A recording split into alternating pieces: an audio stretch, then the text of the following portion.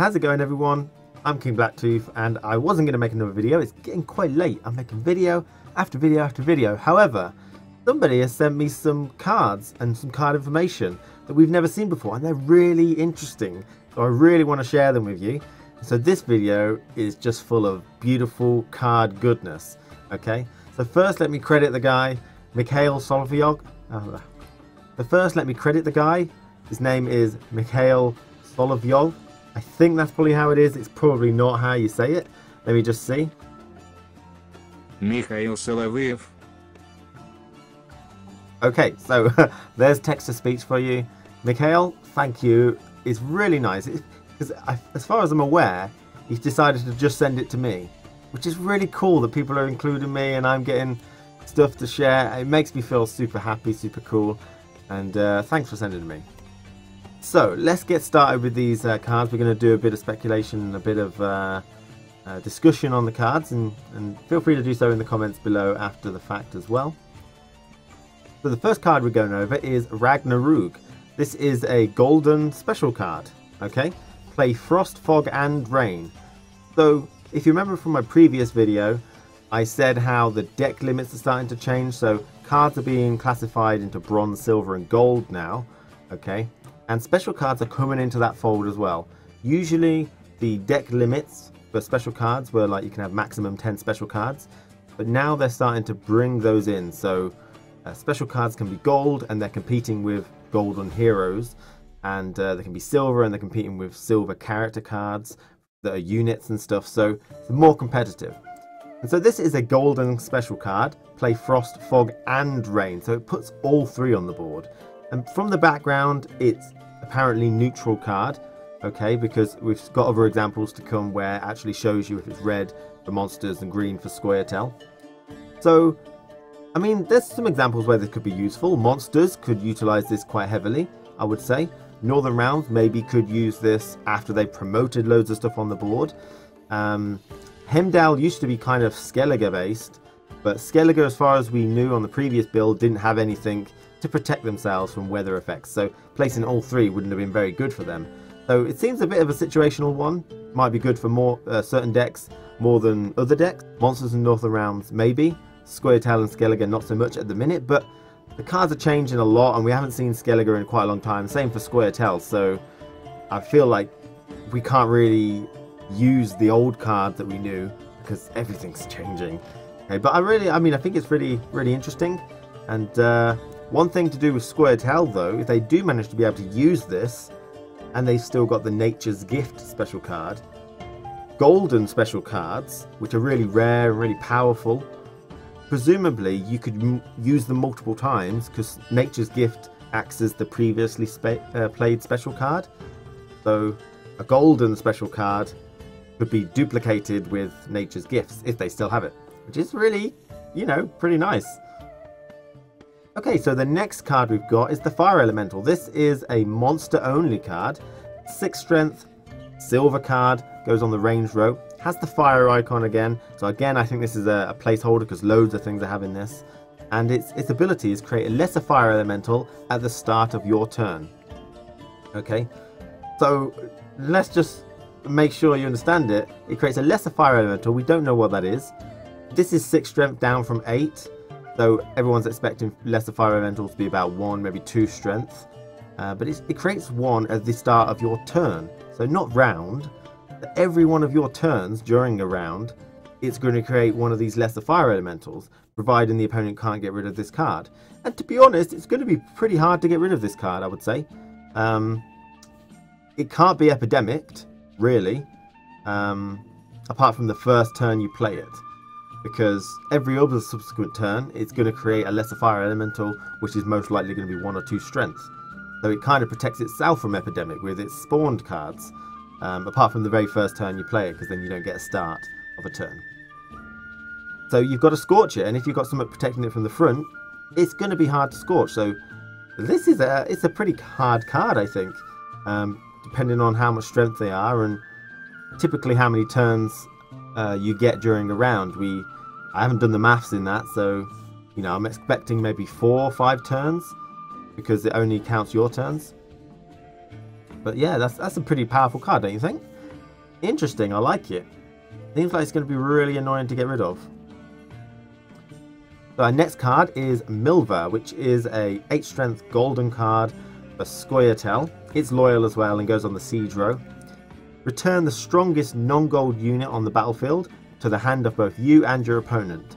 So what I'm expecting this to do is pick out the strongest non-gold unit card on your side of the board and put it back into your hand and get the strongest non-hero unit card from the opponent's side of the board and put that into its hand.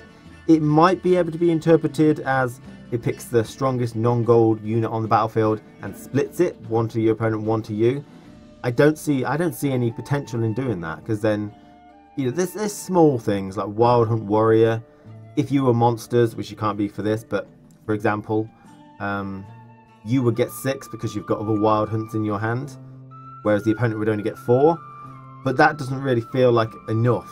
I'm really expecting it to be get the opponent's strongest and your strongest and give them into their respective hands, which could be used for some really good potential. 8 strength on this card is pretty nice, and the potential of giving your opponent their strongest, which is something crap, because they've been using special cards or something, and pulling something that's really strong in your back to your hand, a character with a nice ability that's really strong, is uh, pretty damn good. I mean, you could you could pull back like Nenneke for Northern Realms, for example, you know, obviously you can't because it's Scoia'tael, but I don't, I don't know any Scoia'tael cards because um, we haven't seen them in ages. But you get the point.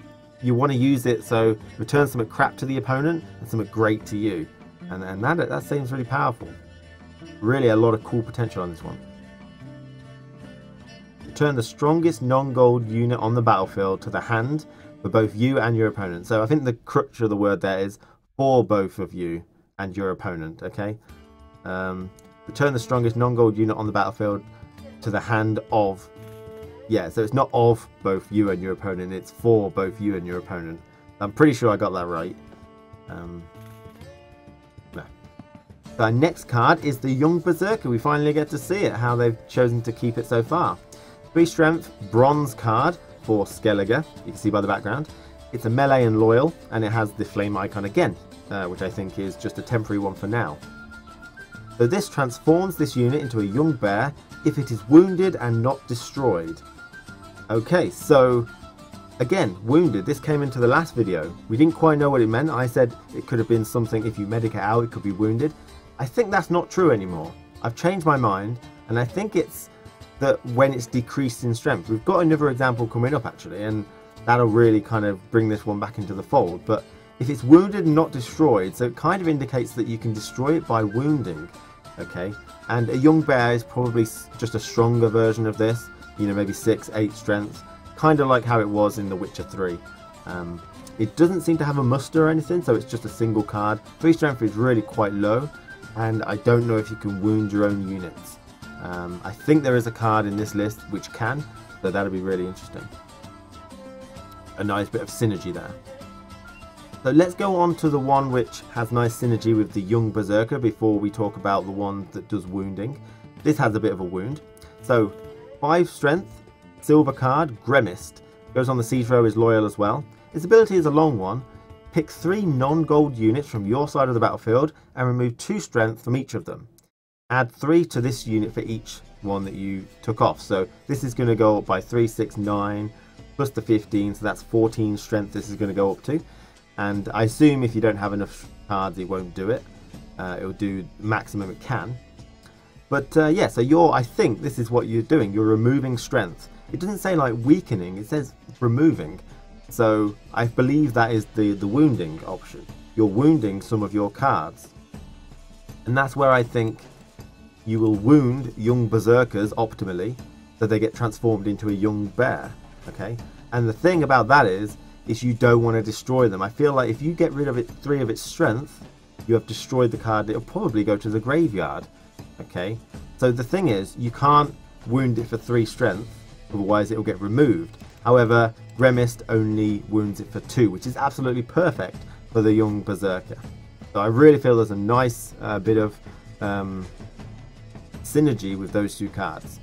So let's go on to an example card where you could potentially destroy the young Berserker. We have Imlerith, okay, he's been changed. 9 strength golden card for monsters. He's a melee loyal card again. Choose a unit on the opponent's side of the board, remove 3 strength from it, and remove 1 strength from all other units on the row.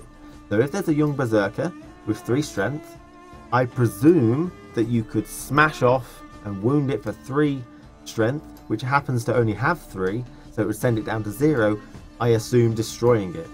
Okay? So this is a whole new mechanic in the game. Wounding and destroying via wounding. It means you don't always need to scorch, and this is a targetable thing, um, but it's not always going to remove something. Um, so he has 9 strength himself, which is pretty good. He's going to remove 3, which is basically 12 strength then. And he removes 1 strength from all other units on that row. I think we had a screenshot, which pretty much confirms that heroes can be um, reduced now because maybe there's no hero actually in the game anymore. They're called gold cards. So um, this might even also affect heroes. The hero's strength might not be cemented in stone in the current build at least. So if we just look at this screenshot for a second, we can see on the top row here, there's two gold cards. There's some sort of dragon with 5 strength and Zoltan the Brawler with 8 strength. They're golden cards and they're not getting affected by weather effects. So it feels like they can't be affected by debuffed, you know, like by weathers and stuff. However, if you look down even further, we have Zoltan Animal Tamer in the fog. He's not getting affected either. However, the card below that is Yennefer, and she is been she has been decreased. She's on four and it's red. So what we can assume from this is that golden cards can't be affected by weathers and maybe like base discouraged and stuff like that but they can be wounded by uh, specific uh, card abilities which wound opponents. So that's that's a revelation. That is that is a very interesting revelation. Okay, so they can be affected by wounding specifically, and if they're really low strength heroes, maybe you can even destroy them with a wound. But they can't be affected by weather effects and maybe discourage and maybe you know things like that, and they can't be buffed by commander's horns and stuff like that but they can be wounded. Amazing, amazing. So he's definitely 12 strength. You could probably get him up to what, 15, um, maybe like 20 if they have a lot of poor infantry and things that create tons and tons of cards. Um, might be really good for that fire elemental that we saw earlier and all its little lesser fire elementals. But, you know, so interesting. I like it. I mean, I like all the cards. I don't think I've come across many cards that I don't like. Operator, probably and uh, monster deck ability, pulling heroes over. And maybe the card draw too, but they're not cards. So the final card we've got is Dijkstra, 8 strength hero card. He's siege and loyal. Alright, there's a lot of evidence that they're trying to remove spies.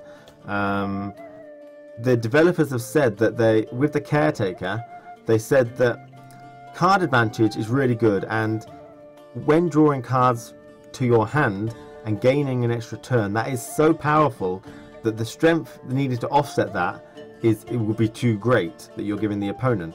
And so they don't want an over reliance of spies in um, in the game like it was in Witcher 3. And due to their internal testing, spies still sort of created a necessity. You kind of needed to take spies to get card advantage, and the meta game sort of drifted that way.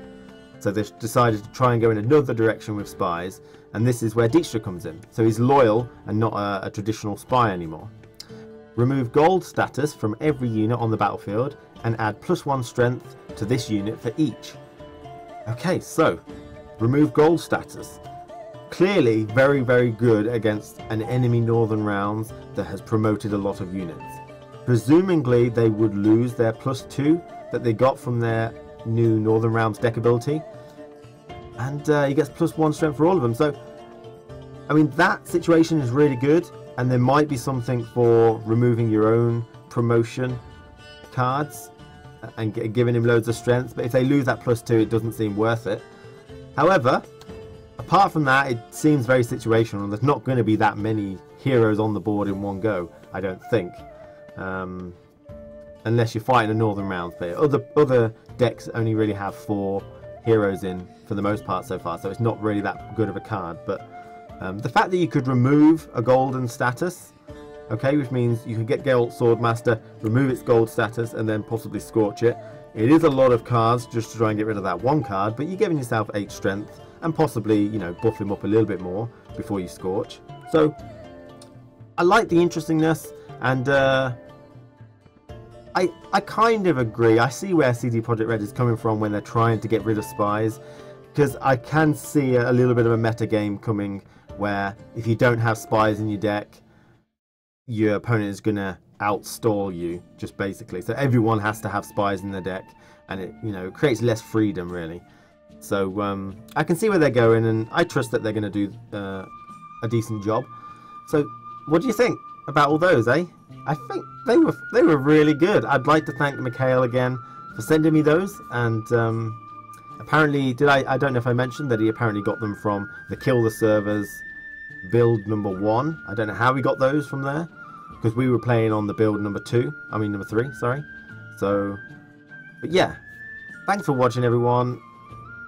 I've been King BlackToof, and stay tuned for more Gwent content in the days to come. See you guys.